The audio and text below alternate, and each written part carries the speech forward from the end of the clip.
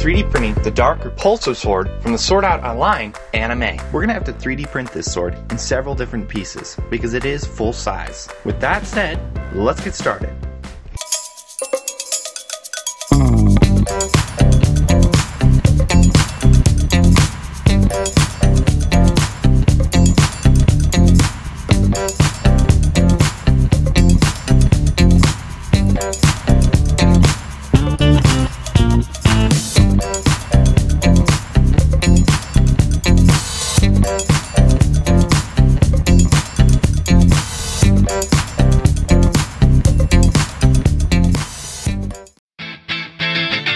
Here's all the pieces. I'll start gluing the pieces together. We're gonna go ahead and I'm gonna glue them together with some super glue. So basically how it works is, let's go ahead and take the handle for instance. We can slide a gap piece, I can get it in right, like that. And then the next piece slides in, like that. And they slide together. So I'm gonna go ahead and glue those together.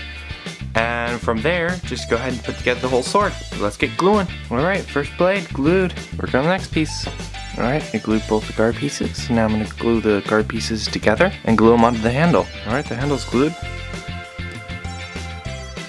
Uh, these creases, I think I'm gonna fill in with some um, JB Weld or just some sort of fill-in material. There it is. All right, so I'm gonna go ahead and start gluing together the blade now. All right. Here's the weapon of mass destruction.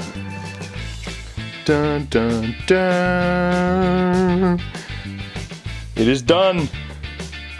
It is put together. Whoa.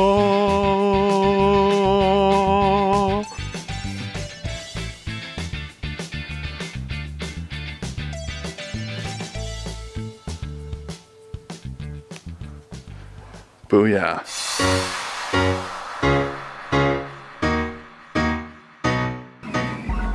So we're sitting here waiting for the print to finish. And I just thought, you know, you guys have never seen the printer in real time, like ever on my channel, ever.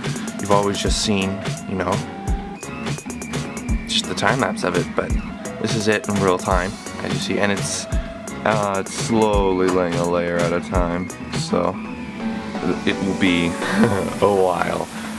All right, the output power has finished. There it is, the two pieces together. We'll I actually think I can. Okay, so there's one piece. I got this side now. There we go. There's the other piece. Detail up in here did really well. All right, so we'll go ahead and put it together. Hooks in into each other like that.